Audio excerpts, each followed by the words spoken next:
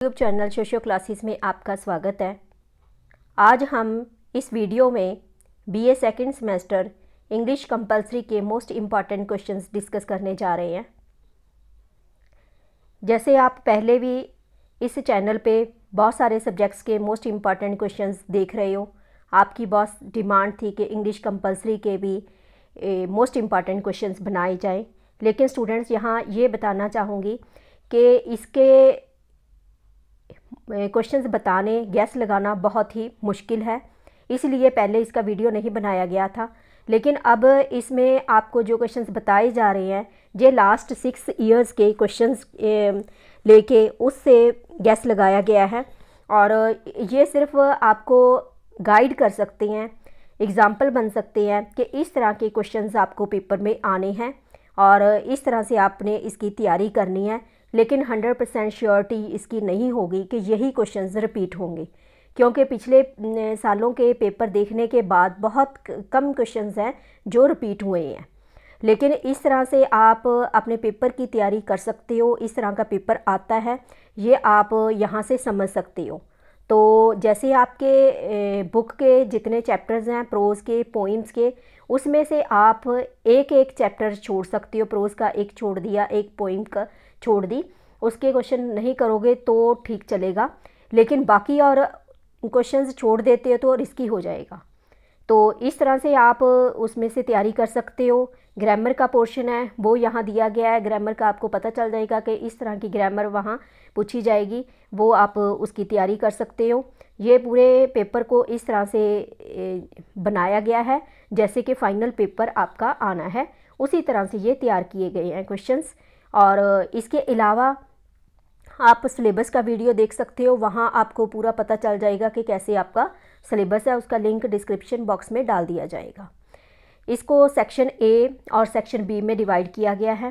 Section A में है, सबसे पहले आपको क्वेश्चन होगा explain with reference to the context one each from poetry and prose तो इसमें ये क्वेश्चंस पहले आ चुके हैं। जैसे ये Sophocles long ago heard it on the Aegean and it bought यहाँ से लेके ऑफ़ ह्यूमन मिजरी तक ये है। उसके बाद इसका आपने जो रेफरेंस टू द कॉन्टेक्स्ट ये करना है। सेकंड इसमें आता है। No mockeries now for them no prayers no bells यहाँ से लेके and bangles calling for them from sad shires ये अपनी बुक में से आप देख सकते हो कहाँ से ये स्टार्ट होता है, कहाँ एंड होता है। उसके हिसाब से आप तैयारी कर सकते हो। इस तरह के क्वेश्चन आपको आने हैं। थर्ड है and our social psychology workers से लेके advertisements were normal in every way and fourth was he free was he happy the question is absurd से लेके we should certainly have a heard और इसके साथ ये आपको दिया जाएगा और he was married and added five children to the population से लेके had anything been wrong we should certainly have heard and second the price seemed reasonable location से लेके बट सेल्फ कन्फेशन थर्ड है but self confession madam I want से लेके pressurise good breeding breeding fourth the sea of faith was once से लेके and next singles of the world. B part इसका होगा। ये ए पार्ट के question थे। वहाँ दो क्वेश्चंस आपको होंगे, जिसमें से आपने एक करना होगा। अब बी पार्ट है। इसमें भी दो होंगे पैरे दिए होंगे प्रोज के होंगे। उसमें से किसी एक का आपने करना होगा क्वेश्चन सॉल्व फ़र्स्ट इसमें आता है बी पार्ट का। यू वॉन्ट रिमेंबर मी और my name you have failed so many of us say you fail us right out in the fields and factories and then you forget us. And second is man has through the ages as sought in vain for and sileke for it is the commonest of all uh, liquids plain water. And third is try registering an offense with the police and you will discover sileke the investigation and charge the offenders and next while giving a test you use to wake up. से लेके no books no telephone और इसी तरह से आगे इसका होगा और का क्वेश्चन जिसमें है even if we have been choosing rulers who have brought and next है एंड देन हु विल जज देयर डिसीजंस ये और आपको समझाने के लिए यहाँ दिया गया कि इस तरह से वहाँ डिवाइड किया जाएगा, लेकिन आपने ये सारे ही करने हैं। इसमें से कोई चॉइस नहीं ले सकते। जैसे कि पहले भी बताया कि आपको पूरा सिलेबस करना चाहिए। पूरे सिलेबस में से अगर आप थोड़ा छोड़ना चाहते हो तो एक एक चैप्टर दोनों का प्रोज और पोइम का छोड़ सकते हो। बाकी का पूरे का पूरे ही आपको क्वेश्चन आंसर से सारा कुछ करना चाहिए। और ये पेपर आपका, थ्योरी पेपर 45 मार्क्स का होगा। और मैक्सिमम मार्क्स इसके 50 हैं, जिसमें फाइव मार्क्स की इंटरनल असेसमेंट होगी। टाइम तीन घंटे का ही होगा।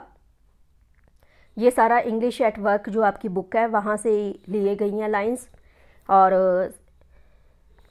इसमें है आगे as a shop with the real feeling I gotta to back into the world trained in a useful craft third but I can read the sounds of my value for my around से लेके and their relative and personal ties and fourth predictively Indian politicians are jittery over a new judicial thrust से लेके civics official seldom care to respond ये question first था। और, अब इसके बाद जो आपका क्वेश्चन होगा, वो है question questions from poetry is not more than fifty to sixty words two out of five to be attempted यहाँ आपको टू क्वेश्चंस का आंसर आपने देना है. फाइव क्वेश्चंस आपको पेपर में दिए जाएँगे. फाइव टू सिक्सटी वर्ड्स में इसका आंसर होना चाहिए. ये पोइट्री का जो पोर्शन है, उसमें से आना है. तो ये क्वेश्चंस आपको दिए जा रहे हैं. इन क्वेश्चंस की तरह ही आपके पेपर में आने हैं. तो आपने क्या करना है? जितनी पोइम्स आप पोइट्री के पोइम आपको दी गई हैं, उसमें से कोई एक पोइम आप छोड़ सकते हो। वैसे छोड़नी चाहिए नहीं, पूरा सिलेबस ही तैयार करना चाहिए। ये रिवीजन के लिए है। पूरा सिलेबस तैयार करोगे, तभी बहुत अच्छे मार्क्स आप ले जा सकते हो। लेकिन अगर किसी को कोई प्रॉब्लम है, पहले तैयारी नहीं हो पाई तो इससे आप हिंट ले सकते हो। तो एक चैप्टर आप छोड़ सकते हो।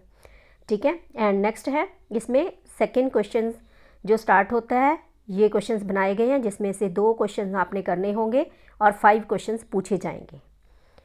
इसमें फ़र्स्ट है who die as cattle in the poem anthem for doomed youth and second is what is the poem telephone conversation about and third is why does the speaker in telephone conversation ask the lady to see his form and soul and fourth what does the scene at Dover beach look like and fifth who is the unknown citizen of the poem's title and sixth discuss central idea of wilfred owen's poem, anthem for doomed youth. तो जितनी poems हैं, उसके central ideas students ज़रूर कर लेना। And next why does the poet refer to Sophocles and the Aegean sea Dover beach and eighth comment on Soyinka use of satire in the poem telephone conversation and ninth is explain why the unknown citizen remains unnamed in the poem. And tenth is what is the poet's main concern in the poem Dover Beach. And eleventh is what according to the poem Dover Beach? What is the state of faith at one time? And 12th is what does the scene at Dover Beach look like? And 13 is how does the speaker express his resentment at landlady's questions in telephone conversation? And fourth is what is an anthem is the world suitable for the poem anthem for doomed youth and 15th is who is the unknown citizen of the poem's title and 16 what do expressions such as lipstick coated, long gold rolled cigarette holder pipe tell us about the social status of the landlady? Telephone, telephone conversation. And 17th is what does the poet hear in the grating roar of pebbles? What thought does it bring to his mind Dover Beach? And 18th is what according to the poem was the state of faith at one time Dover Beach? And 19th is what elements comprise the homage to the dead soldier uh, anthem for doomed youth? And 20th is what is poet's attitude towards the unknown citizen? And 21st what various things does the unknown citizen do do to be considered a saint and 22 what elements comprise the homages anthem for doomed youth? And 23rd is why does the poet refer to sophocles and the agency and 24th is why does the speaker ask the landlady to see his palm and soul? Here repeat a question telephone conversation. And 25th is the poem telephone conversation is about racial discrimination but can it also be read in the context of other forms discrimination. Is discrimination uh, discrimination limited to race? ये second question के बनाए गए हैं parts अब है third question third question जो है ऐसे टाइप क्वेश्चन फ्रॉम प्रोज ये प्रोज में से पूछा जाएगा in not more than hundred to one twenty words two out of three to be attempt ये आपको थ्री क्वेश्चंस दिए जाएँगे, जिसमें से आपने दो का आंसर देना होगा और सिक्स मार्क्स का ये होगा। इससे पहले वाला फाइव मार्क्स का था। दो क्वेश्चंस का आंसर देने हैं आपने। तो टोटल उसके फाइव मार्क्स हैं, इसके सिक्स मार्क्स हैं। इससे पहले जो पोइट्री प्रोज का हमने किया फ़र्स्ट का ए बी पार्ट वो फाइव फाइव मार्क्स के दो थे। तो टेन मार्क्स उसके हो गए। सेकंड के फाइव मार्क्स अब थर्ड क्वेश्चन जी है, इसके भी सिक्स मार्क्स हैं। ये थ्री मार्क्स का होगा। और इसमें क्वेश्चन इस तरह से हैं। What are the shortcomings of school education according to letter to a teacher and second is attempt character sketch of the author of the letter to the basis of information given by him letter to a teacher and third is do you think that a judicial intervention is the only way to provide address to aggrieved citizens and to take up matters of aggrieved citizens and to take up matters of public interest taking the law into their hands and fourth is what is soil erosion what is the connection between soil erosion afforestation and conservation of water, the elixir of life. And fifth uh, fifth is what is the author's investment in the short story, the best investment I ever made. And sixth is how can mankind ensure the conservation and utilization of water. And seventh is describe the colors of water as it flows across the different kinds of soil and finally into sea. The elixir of life. And eighth is what are the normal investment? How is the author's investment different in the best investment i ever made? And ninth is describe the system of education as presented in letter to a teacher. And tenth is what changes have occurred in the attitude of the judiciary over the last 20 years and 11th is describe how water is the basis of all life how can mankind ensure the conservation and utilization of water and 12th is attempt a character sketch of the author of the letter on the basis of information given by him about his home etc and ये numbering यहाँ गलत हो गई है and next is what is what according to you are the reforms in the education system suggested by letter to a teacher and fourteen है. What do you think is the moral और message of the story the best investment I ever made and next is what are the use of water besides its fundamental role in sustaining life how can water be use for modern civilisation commercial purposes add your views to those in Rama एसर of life ये section A था. अब section B के question हैं. Students जैसे कि आपको पता भी है, जो नए स्टूडेंट्स हैं उनको बताना चाहेंगे कि ये सोशो क्लासेस में आपको सारे सब्जेक्ट्स के मोस्ट इंपॉर्टेंट क्वेश्चन मिल जाएँगे और सिलेबस भी यहीं से मिल जाएगा, जिस आप तैयारी कर सकते हो। और इसके अलावा सोशियोलॉजी के पूरे सिलेबस के लेक्चर्स बहुत इजी ढंग से बनाए गए हैं, बहुत ही इजी लैंग्वेज में हैं। वहाँ से आप अपने तैयारी कर सकते हो, पंजाबी कंपलसरी के स्टोरीज़ वगैरह भी आपको यहीं से मिल जाएँगी। विषय वस्तु उसका करना है, सार करना है, वो भी क्वेश्चन से यहाँ डाले गए हैं। वहाँ से आप अपने पेपर की तैयारी कर सकते हो। हाँ जी, आगे है सेक्शन बी जिसमें है fourth question letter writing personal only ये होगा पर्सनल लेटर्स आपको लिखने के लिए कहा जाएगा, दो दिए जाएँगे, उसमें से एक आपने करना है। जैसे है write a letter to your friend telling him her about your experiences in college campus इस तरह के लेटर्स हो सकते हैं। इसमें से भी आ सकता है नहीं बाहर से भी हो सकते हैं लेकिन आपको आइडिया हो जाएगा कि इस तरह के लेटर पूछे जाएँगे। नेक्स्ट है write a letter to younger brother to follow guidelines to get protection protection from COVID nineteen write a letter to your younger brother describing your impressions of the college life and write a letter your, uh, to your friend who after his failure in the BA first examination is thinking of giving up his studies sympathize with him and advise him not to take his failure to heart. And next is suppose one of your friend has met with an accident and is in the hospital, write a cheerful letter to him. और ये और इसलिए डाला गया कि इस तरह से आपको दो लेटर पूछे जाएँगे लेकिन आपने ये सारे ही करने हैं आगे है write a letter to your friend telling him her about the ways of living an eco friendly life and next draft a letter to your friend requesting him to continue his studies after graduation and next draft a letter to your friend telling him her about your visit to a hill station and next write a letter to your friend giving details of the recent youth festival in your college write a letter to your friend sympathizing with him on his failure in the examination ये letter के बारे में था अब fifth question जो है ये होगा आपका ग्रामर का narration preposition conjunction and synonyms जिसमें first do as directed first change the narration इस तरह के आपको सेंटेंस दिए जाएँगे।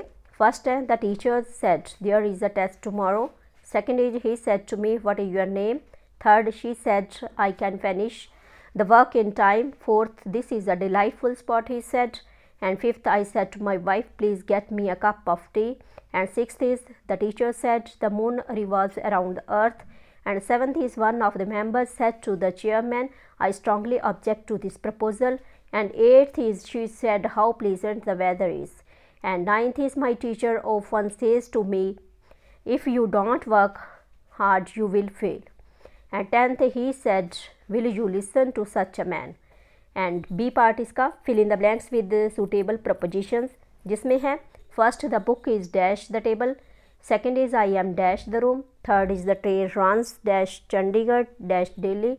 And fourth is his father deals dash clothes. Fifth is the roads leads to dash college. Sixth is who is the docking dash the door.